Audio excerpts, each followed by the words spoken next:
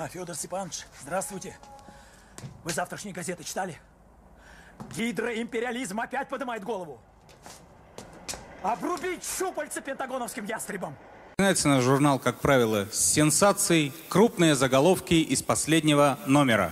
В Санкт-Петербурге полиция ищет хулигана, написавшего на тротуаре перед налоговой. С добрым утром, любимая. Суперсенсация. Энергосберегающие лампочки не застревают во рту.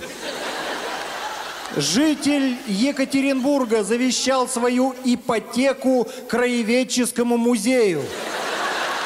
Россия оказалась готова понять, простить и принять чемпионат мира по футболу 2018 года. В Эрмитаже найдена неизвестная Каляка Малевича. Парашютист струхнул с высоты 2 километра. Женщина сделала мужчине предложение, от которого он не смог.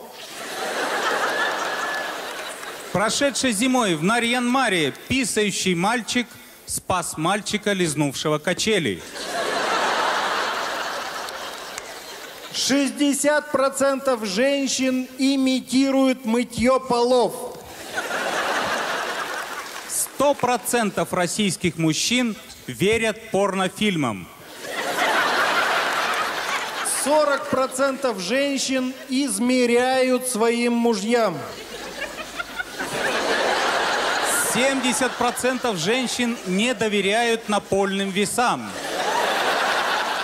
30% вегетарианцев не едят мясо. 75% женщин не едят после шести рюмочек. А тем более после 18. Ну и, наконец, 100% россиян поздравляют Юрия Николаевича Гальцева с днем рождения!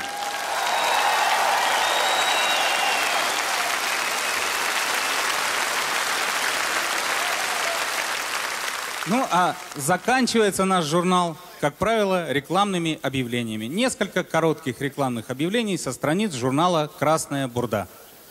Импотенция не приговор. Клуб охотников и рыболовов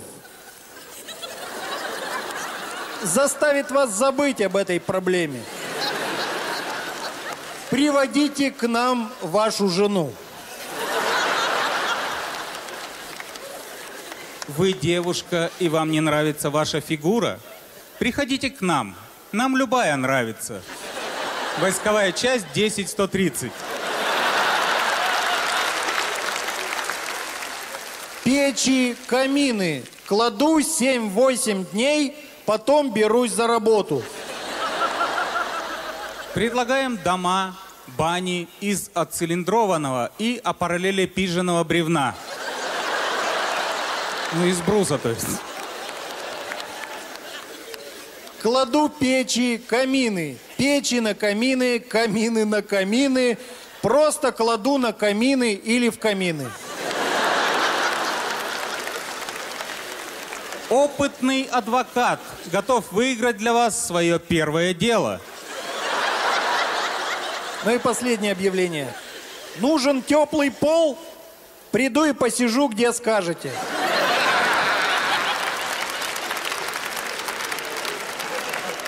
Ну а самый хороший, конечно, подарок на юбилей человеку – это стихотворение. Все вы знаете, все вы не раз были на юбилеях. Мы подумали, что люди, в общем-то, начинают отмечать самых таких дат 30 там круглых, 30-40. А в принципе, ведь много юбилеев в жизни у человека. Например, стихотворение на первый год жизни человека, на первый его юбилей. В этот день уж как хотите, в годовщину славную, дайте юбиляру титю, левую или правую.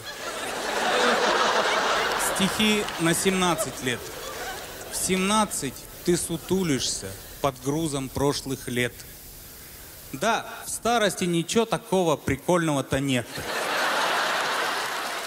На 19-летний юбилей. 18 ты не понимаешь, как с годами много ты теряешь. В 19 много ты поймешь, но уж 18 не вернешь. Юбилей 23 года. Ты в свои 23 очень много успел. Но вот только понять, что успел, не успел. На 25-летний юбилей стишок. Здоровья мы желаем пожелать старушке-балерине в 25. 46-летний юбилей. Тебе сегодня 46. И на груди сидеет шерсть. Но в сердце, спрятанном в шерсти, не больше 26. На 60-летний юбилей стишок. Нам никогда не будет 60, а лишь 4 раза по 15, 6 раз по 10, 10 раз по 6, по 30 дважды, полтора по 40, по 5 12, по 12 5, но никогда не будет 60. 65-летний юбилей. Где твои 17 лет на большом каретном? Где твои 65 лет в проезде безбилетном? На 70 лет, на 70-летний юбилей. И пусть не так крепка рука, не строишь замка из песка, того песка, что в час любой ты оставляешь за собой. Ну и, наконец, на столетний юбилей. Как жаль, что немного дворовых друзей к тебе на столетний пришли юбилей.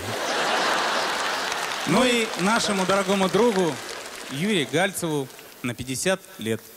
Тебе сегодня, друг, исполнилось полста. И пусть болят с утра отдельные места, пускай они болят и ноют и скрипят, пускай они висят еще лет 50.